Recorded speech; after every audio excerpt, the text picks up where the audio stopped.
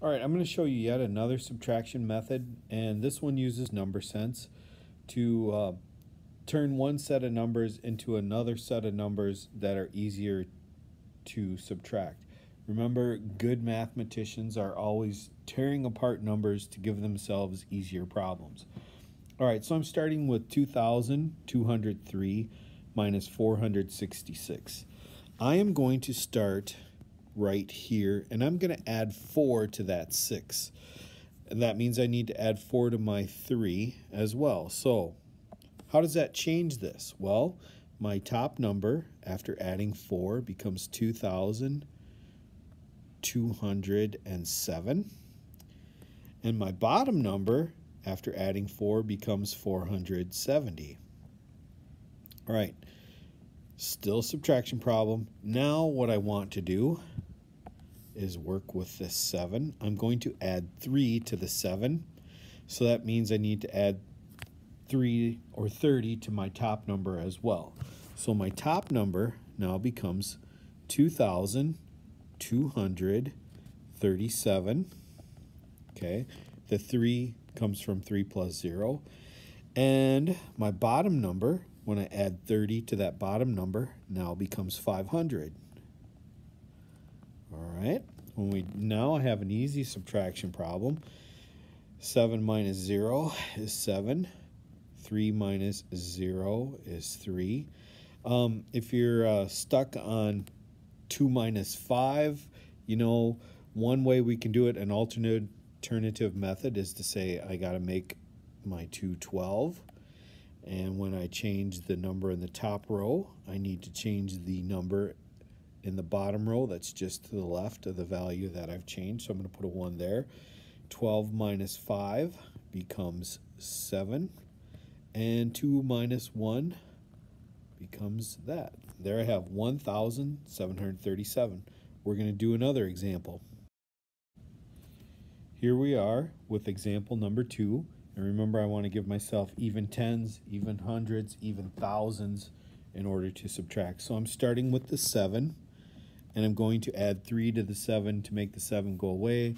That means I also need to add 3 to my top number. So now I have 3,063.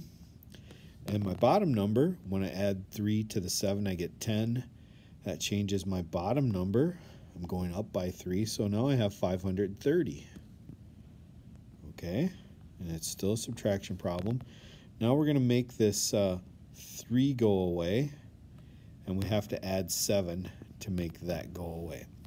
So let me rewrite my top number now. And I still have my 3. I'm going to work backwards here. Whoops. I got to pick a color that'll show up on my screen. We have that 3. Remember, I'm adding 7 to my bottom number, so 6 plus 7 is 13. I need to carry the 1. 1 plus 0 is 1. And I have my 3, 3,133. And my new bottom number, when I add 7D to 530, becomes 600. Now I have an easier subtraction problem to do. 3 minus 0 is 3. 3 minus 0 is 3. I'm going to borrow. I'll borrow the standard way. That changes to a 2. 11 minus 6 is 5. Bring down my 2, and my answer is 2,533. We will do one more example. Final example, again, we're giving ourselves, we're making new numbers to make our subtraction easier. And in the bottom number, we want to first clear out the, the ones, the tens, the hundreds, and the thousands if need be.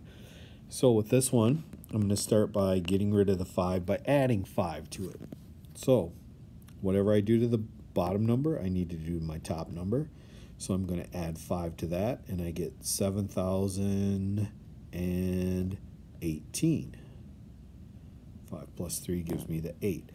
When I add 5 to 365, I get 370. So this is my subtraction problem now. As long as I change both numbers the same way, I'm good. Um, to change that 7, to get rid of the 7, we are going to add 30 to it. So here's where I'm working now. And I'm going to add 30 to both of my numbers. So 7,018 plus 30 more is 7,048. 370 plus 30 more gets me to 400. Okay, now I have a much easier subtraction problem to do. 8 minus 0 is 8. 4 minus 0 is 4. Uh, I can't subtract 4 from 0. So again, showing my uh, alternative borrowing method, I need to make that a 10. And to the left of my 4, I'm going to put a 1. I had to increase that 0 in the top row. So I also increased the number to the left in my bottom row by 1. Okay, 10 minus 4 is 6.